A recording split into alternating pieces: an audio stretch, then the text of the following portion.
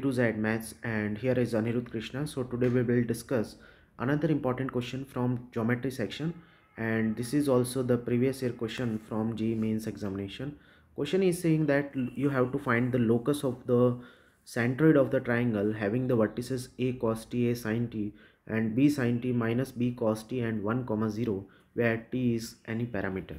right so let's start the solution so there is a triangle. Okay so first of all let me draw the triangle. So this is my triangle and the vertices of this triangle also given. So first vertex let's say this is the first vertex and this is given by a cos t a sin t right? And there is another vertex that is b and this one is b sin t comma minus b cos t. And there is third vertex let's say c and having the coordinate as 1 comma 0 so first of all we are going to find the centroid of this triangle and I can easily find the centroid of the triangle by adding all the coordinates and uh, then dividing by 3 okay so यहाँ पे आप a cos t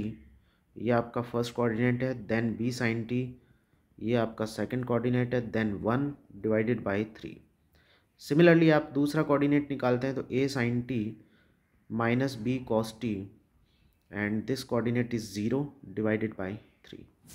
so ये आपका centred हो गया and we know that जब भी हमें किसी भी पॉइंट का जो है वो लोकस फाइंड आउट करना होता है तो उसको हम लोग एक्स कॉमा वाई से ट्रीट करते हैं। सो so, यहाँ पे हमें सेंट्रोइड का ही लोकस फाइंड आउट करना है तो सेंट्रोइड को हम लोग कंसिडर करेंगे एक्स कॉमा वाई से। अब एक ही पॉइंट जी के दो कोऑर्डिनेट हमें यहाँ देखने को मिल रहे हैं कि जी हमने निकाला है, ये वाला फॉर्मूला अप्लाई करके और सिंस जी का ही लोकस लेना है तो जी को हम एक्स कोमा वाई भी कंसिडर कर सकते हैं। तो दोनों कोऑर्डिनेट्स को इक्वल हम कर सकते हैं कंपेयर करके। तो यहाँ पे बन जाएगा a cos t plus b sine t और प्लस में आपका वन डिवाइडेड बाय थ्री जब करेंगे तो ये इक्वल हो जाएगा एक्स के so after cross multiplying you will get a cos t और प्लस आपका बी साइन टी और ये होगा आपका three x minus one this is my equation number one similarly जब आप वाई कोऑर्डिनेट को कंपेयर करते हैं तो ये आपको मिलेगा a sine t plus b cos t not plus b cos t this is minus b cos t so, this is minus b cos t is 3 of y. This is my equation number 2 अब देखिए बच्चों, जब भी हमें locus का equation निकालना होगा, उसके लिए हमें इस पैरामीटर को हटाना पड़ेगा। यहाँ जो इसने लिखा हुआ है ना टी इज़ द पैरामीटर तो पैरामीटर को हमें रिमूव करना होगा और पैरामीटर रिमूव कैसे किया जाएगा कि हमें यहाँ कुछ ऐसा एल्जबरा लगाना होगा जिससे कि ये टी जो है वो रिमूव होगा। अब ये एल्जबरा लगाने के लिए आप देख सकते हैं कि यहाँ ए कॉस टी है ए साइन टी है तो cos square plus sine square बनाया जा सकता है और उसके लिए मुझे इन इक्वेशन का स्क्वायर करके ऐड करना होगा। तो यहाँ बनेगा ए कॉस टी और प्लस में आपका बी साइन टी और ये होल स्क्वायर एंड देन यहाँ है आपका a sine t minus b cos t और इसका भी होल स्क्वायर और राइट साइड में मुझे मिलेगा three x minus one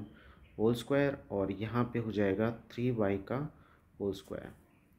simplify यदि हम लोग इसको करते हैं तो आप देख सकते हैं कि यहाँ आपको होल स्क्वायर ओपन करने पे मिलेगा a square cos square t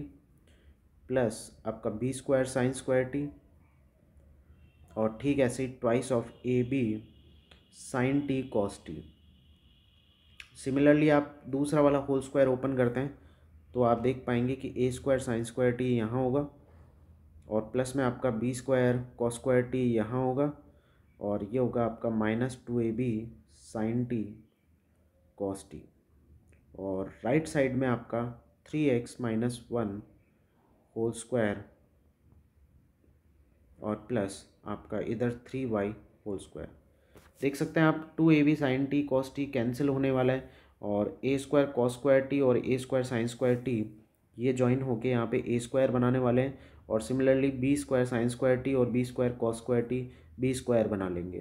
तो यहाँ पे थ्री एक्स माइनस वन का होल स्क्वायर और plus three y whole square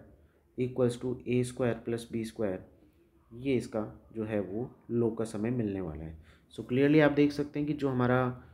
choice जो करेक्ट बनेगा वो बनेगा कौन सा? B choice right so b is the correct choice for this question so I hope आपको ये क्वेश्चन समझ लग गया होगा। So b is the correct choice thank you so much for watching this video